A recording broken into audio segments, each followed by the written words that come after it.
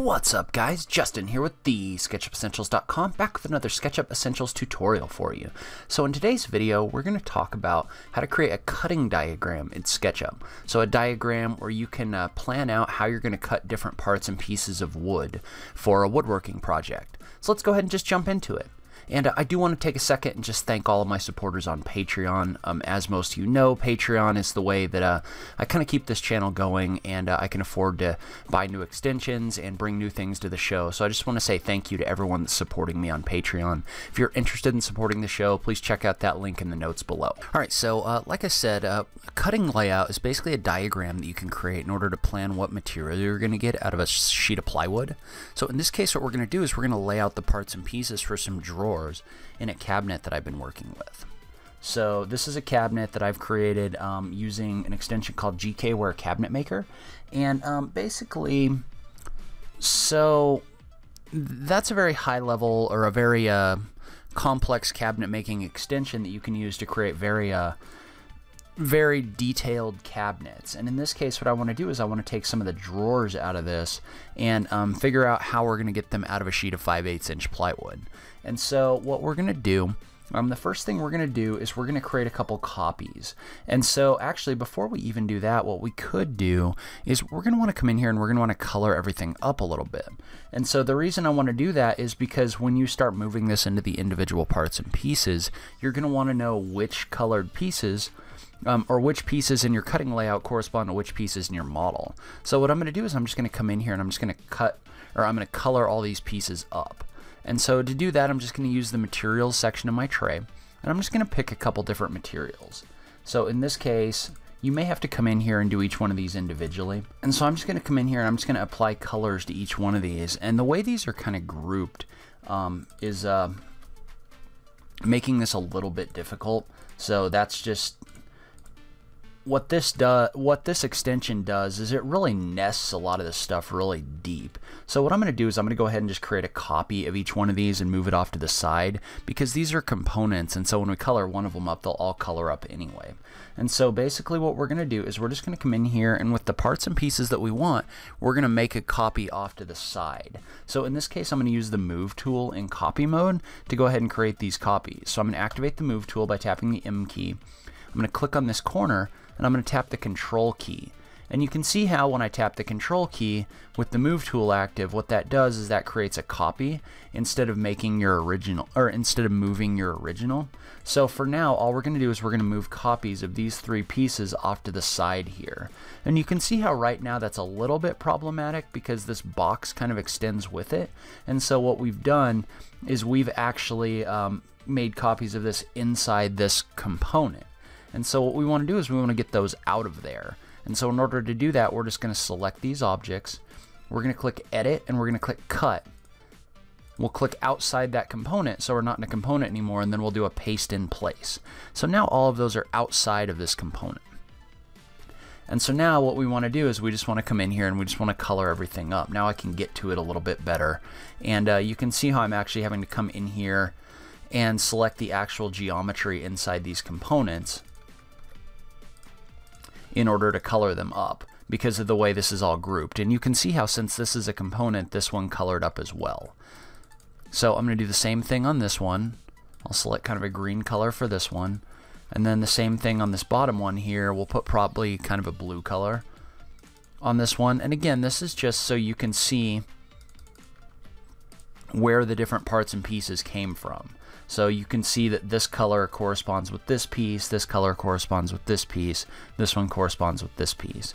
So now we've got our three, um, three drawers that we want to work with kind of moved off to the side. Now we're going to kind of line them up and get them ready for creating our cutting diagram. So what I'm going to do is I'm going to move all of these up and down on the blue axis so that they're like flat with the bottom of this piece. So in this case, I'll move this one over and then I'll move it down and I'm just holding the shift key when I'm doing this to lock this to the axis so that I can use kind of inferencing to kind of line everything up. So now I've got everything flat on this axis. So now what we've got is we've got our different parts and pieces in here. And uh, now what we can do is we can go ahead and create our cutting diagram. And so what I'm going to do is I'm going to create a rectangle that's the size of a sheet of plywood. So in this case, I'm going to draw a 4 foot by 8 foot rectangle. So I'm going to do 8 foot, comma 4 foot. I'm using the rectangle tool in order to do that. That's assuming that you're working with a 4 foot by 8 foot sheet. And so you can see how now if I was to come in here and I would measure this, this is 8 foot long and 4 foot wide. And what you can do is you can either leave this face in here or you can delete it out. Um, I do recommend putting all of these in a group just so that everything's kind of organized and uh, working the way that you want it to. And then now what we're going to do is we're just going to take these parts and pieces and we're just going to move them over here. So in this case, what I'm going to do is I'm actually going to make another copy of this object and put it over here. So I'm just going to hold the control, I'm going to activate the move tool, click on this corner, tap the control key to move this over here. And I'm just going to inference that over so it sits right on this corner point. And then now what I'm going to do is I'm just going to start moving these parts and pieces out. So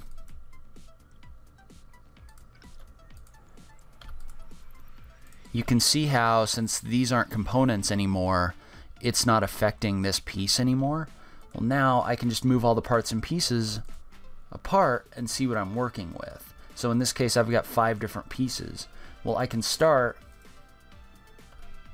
by lining this object up with this corner and actually, honestly, you can see how these are all kind of in a group right now. You can probably just explode your group so each one of these are in here as just individual items. And then when you do that, now you can come over here and you can lay these objects down by using the rotate tool. So you can see I'm kind of moving that over and then I'm just going to activate the rotate tool and use that to lay these pieces down. So you can see how I laid this down flat and I'm going to move this over. And in this case, these actually seem like they're a little bit thicker, but let's go ahead and assume all of these. We'll just push pull this up so that it's level. And so you can see how I'm coming in here and I'm just using the rotate tool in order to lay these pieces down. And one trick about the rotate tool is you can tap the arrow keys to lock it to the various axes. So if I want to lock this to the red axis, for example, I'm just going to tap that right arrow key and I'm just going to lay this object down. So, and you could kind of flip that if you wanted to using the scale tool. I mean, at this point, we're just kind of moving pieces around so we can see how they fit. So in this case, I'll lay this piece down and then I'll rotate it you can see how I'm able to move everything around real quickly using the rotate tool and then I'm just using inferencing to kind of get everything to line up. So you can see how that corner point will line up with this corner point over here.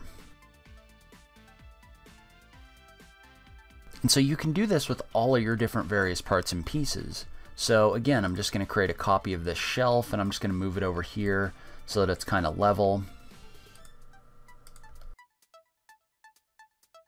And then I'm going to do the same thing with this last drawer. I'm going to move it over here.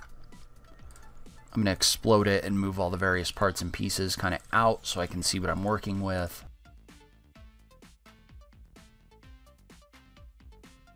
And again, I understand that all of these, it kind of drew with a different thickness, but we're just going to assume they're all the same thickness for this exercise.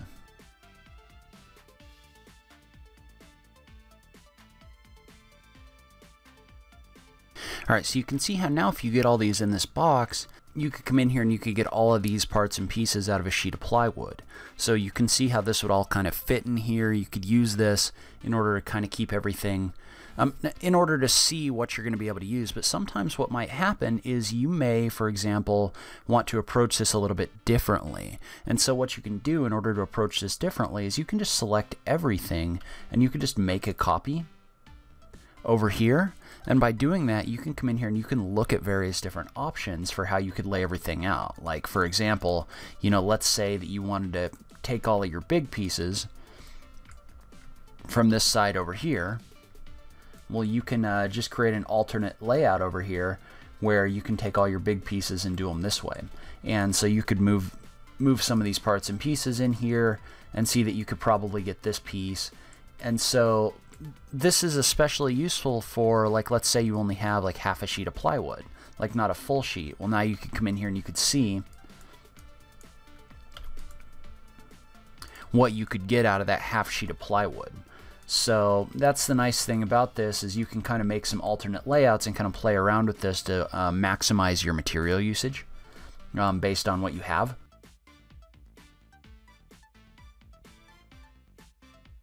So you can see how you could probably get approximately this much out of half a sheet of plywood.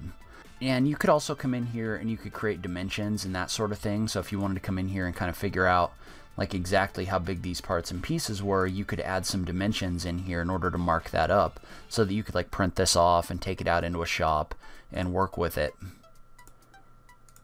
that way. So once once you get kind of the basics of this laid out, then it becomes very simple to look at different options. Leave a comment below. Let me know what you thought. Did you like this video? Was it helpful to you? Or would you like to see anything different? I just love having that SketchUp conversation with you guys. If you like this video, please remember to click that like button down below. If you're new around here, remember to click that subscribe button for new SketchUp content every week. If you like what I'm doing in this channel, please consider visiting my Support Me page on my website. That's the SketchUpEssentials.com slash support. That's got links to a few different ways that you can help support the show. But in any case, thank you so much for taking the time to watch this. I really appreciate it, and I will catch you in the next video. Thanks, guys.